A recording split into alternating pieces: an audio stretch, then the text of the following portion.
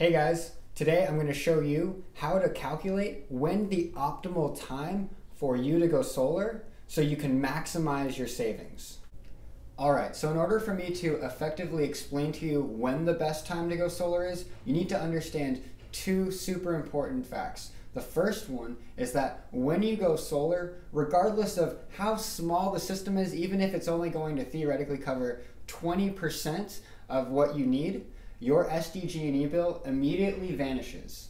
You're not going to pay anything for a full 12 months. You're going to enter what is called the net metering agreement, which essentially means that your meter is a smart meter and it's going to be keeping track of exactly how much energy you produce and send back and take from the grid. So what happens next is SDG&E tracks exactly your energy usage for 12 months and at the end of 12 months only, they're either going to send you a credit or bill you for the amount that you used. Now our goal is to always give you more than what you need so you'll never have a bill ever again and in fact have a little bit of a credit. It's super important to understand that your existing bill vanishes and that your new payment, if you go the financing route, is going to just replace the old bill because I think it's this one fact that a lot of people don't necessarily fully understand and they're thinking to themselves, well, I'm either going to pay a whole bunch of money cash for my solar and be out all of that money and still have to pay SDG&E or I'm going to have a new payment for the solar and still have to pay SDG&E and why would I want to pay more? This is not how it works. The goal is to replace the existing bill with a payment that's lower so you can start saving on day one. Okay, so first I'm going to kind of break down the numbers for a cash deal so I can make sure you understand. Okay, so first, if your current bill is about $250 a month, I can get you a system that's going to be about $24,000. This is really close to what my parents' bill was and what the cost of their system was. So if you add up the current $250 a month, that is $3,000 a year that you're currently spending in electrical costs. Now keep in mind that this is an expense. It's not adding anything to the value of your home.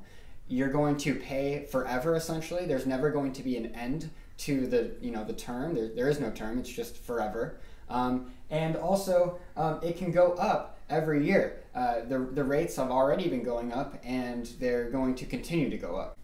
For this cash example, I'm going to assume two things. The first is that the customer can take advantage of the 30% tax credit, and the second is that energy costs are going to continue to rise at 6%. Now, this is actually conservative based on the fact that during the last 25 years here in San Diego, we've seen on average a 7.9% increase each year. Okay, so let's say this is you. It's November of 2018. Your average bill for the entire year was about 250 bucks a month. It's probably a little bit less now that we're cooling off from the summer months. But let's just look at what your your future roadmap looks like for what you would have to pay if you didn't go solar. So, $250 a month times 12 is $3,000. After three years, with that 6% increase a year, you'd be paying $9,550. At the five year mark, you will have paid almost $17,000. At the 10 year mark, you'll have paid almost $40,000. At the 20 year mark, over $110,000. And if you stay in your house 30 years and you don't go solar for the entire time, you will have paid $237,000 to SDG&E. That's insane. When you can get a solar system that's going to cost you $16,800 after the tax credit and work for on average 33 years with a 25 year parts and labor warranty. Which one looks better to you? So by writing out our future running costs if we don't decide to go solar, it really puts it in perspective and makes us realize how much we're really spending. So the solar system after the tax credit costs $16,800 and that's expected to run for about 33 years with a 25 year warranty. Now if you add up the $250 each month, you're going to have hit over that price in 60 months, which means that in less than five years, your solar system will have paid for itself, and essentially every month after month 60, you're you're putting $250,000 back in your pocket that you would have given to SDG&E. And so here are the savings for if you decide to go solar with a cash deal. The costs are on the top that you would have paid SDG&E, but because you're not paying SDG&E anymore, you installed a solar system up on your roof for this amount. Here are your savings, which means that at the five-year mark, you will have saved $110. Not much, but that's around pretty much what your payback period is. At the 10-year, you will have saved over $22,000. At the 20 year, you will have saved over $93,000. And at the 30 year, you'll be up $220,000 in savings.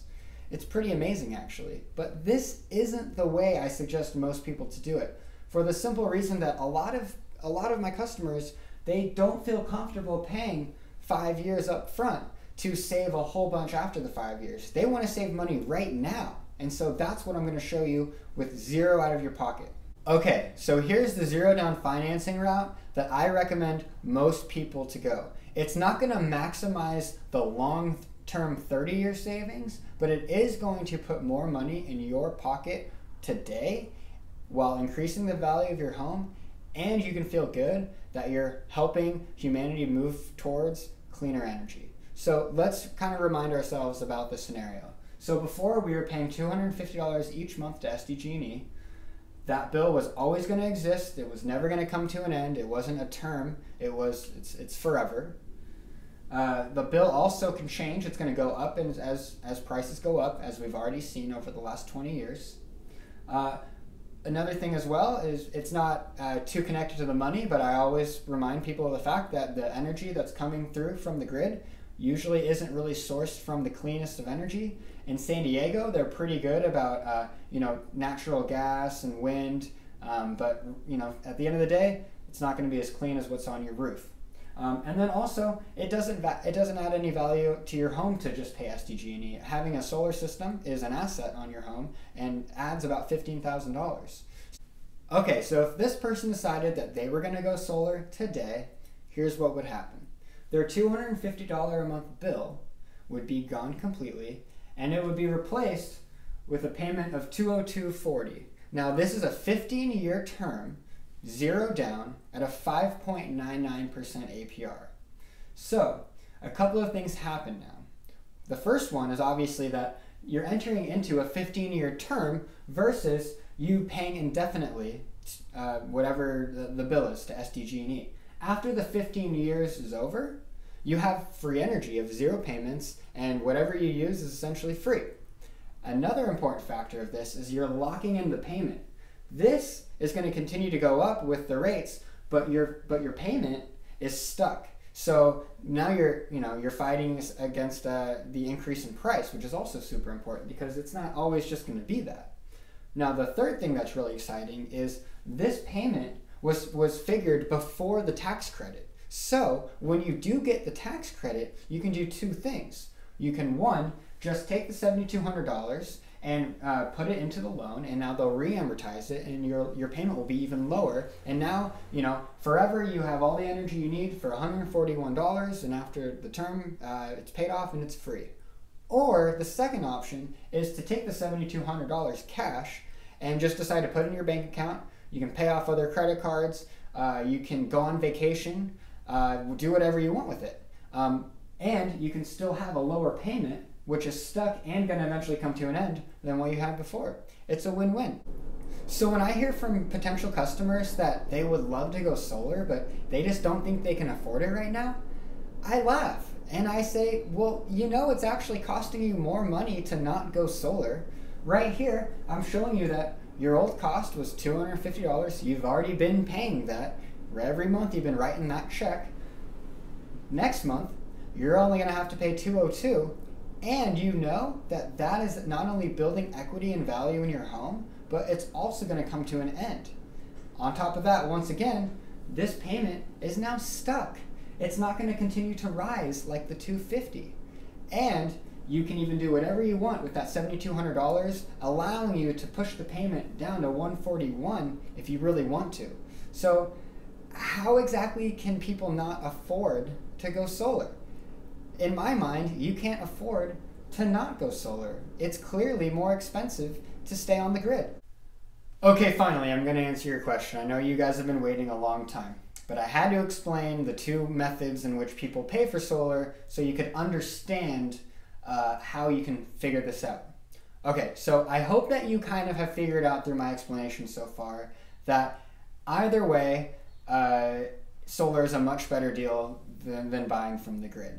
And in both cases as well, the longer you have the solar, the more your savings are. So, with that logic, if your goal is to save as much money as possible, the sooner you can get rid of the SDG&E bill and replace it with a new payment that's now building equity and is oftentimes lower than what your current bill is, the faster you uh, will will enter the saving money phase and the, the, the more you will save in the long run. So, I didn't mean for this to be a clickbait video. I, it's, I'm answering it as honestly as possible, and that is the optimal time for you to go solar to save the maximum amount of money is as soon as possible. It's just how the math works. If you're thinking about going solar in the San Diego area, I would love nothing more than to be the person that helps you through the process. I'll give you the highest quality service and the best quality equipment for a price that you cannot beat anywhere else. I promise you that. My number is 760 473 5878, and the website is californiasolarwave.com. And if you're unfortunately not from San Diego and don't have the luxury of doing business with us, go check out the video I just made. It's packed with tips that will help you get the best deal when going solar. I put the link for that video in the comments. Go check it out now.